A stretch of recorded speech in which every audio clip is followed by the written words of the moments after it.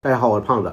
最近呢，得到一个消息，就是曹云金的徒弟和听云轩的几个工作人员带着北京台的记者参观了一下听云轩的小剧场，并且北京台还专门为其做了宣传的节目，将在端午节播出。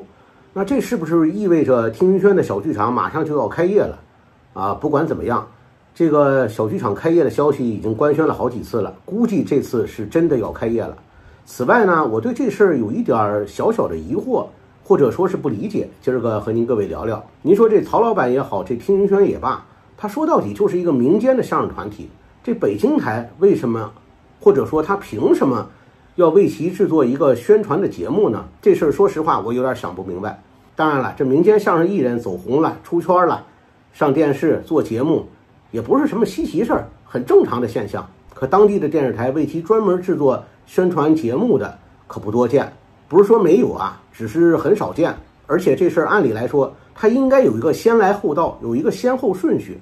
你应该先去上节目，上电视台，哎，一来二去的关系处的不错啦，顺水人情嘛，大家都懂的，人情世故，有这种情况也是很正常的。可自打曹云金从去年所谓的翻红以来，他和过去的传统媒体基本上没有什么交集。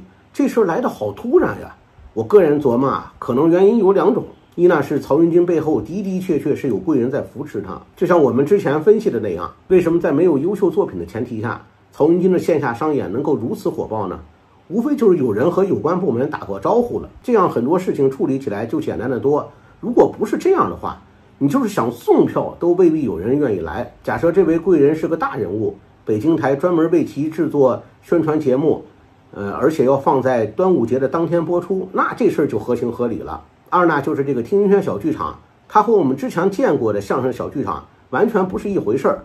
说实话，它更像一个电影院，而且就地理位置来说，它不是一个特别适合演出的地方。很有可能，这个小剧场并非像曹网红自己所说的那样，是他个人投资上千万所打造的，很大可能是当地的文化部门或是其他性质的一个小剧场。